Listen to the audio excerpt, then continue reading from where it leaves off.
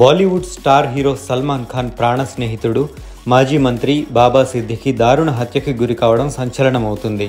తన స్నేహితుడు బాబా సిద్దికి హత్యకు గురయ్యారనే వార్త తెలియగానే సల్మాన్ ఖాన్ ఒక్కసారిగా షాక్కి గురై బిగ్ బాస్ హిందీ షూటింగ్లో ఉన్నా కూడా దాన్ని రద్దు చేసుకుని మరీ లీలావతి హాస్పిటల్కి వెళ్ళారు అక్కడ సిద్దికి మృతదేహానికి నివాళులర్పించారు.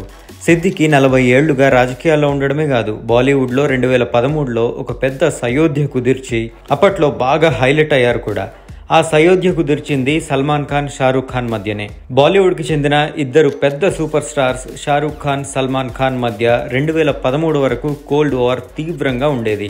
అట్లా ఆ ఇద్దరి మధ్య ఆధిపత్య పోరుతో బాలీవుడ్ కూడా ముఖ్యంగా నిర్మాతలు కూడా వర్గాలుగా విడిపోయిన పరిస్థితి ఉండేది. ఈ కోల్డ్ వార్ మొదలవడానికి మూలం రెండు వేల ఎనిమిదిలో జరిగిన ఒక ఘటన.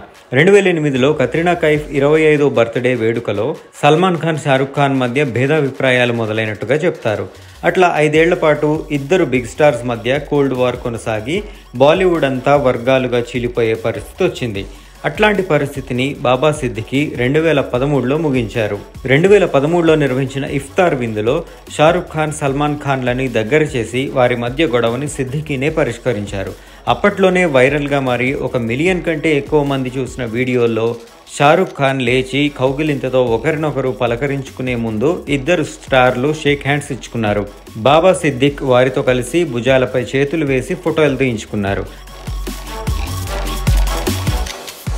అట్లా హిందీ చిత్ర పరిశ్రమలో కీలక విభేదాన్ని పరిష్కరించిన పొలిటికల్ లీడర్గా బాబా సిద్దికి పేరు పొందారు.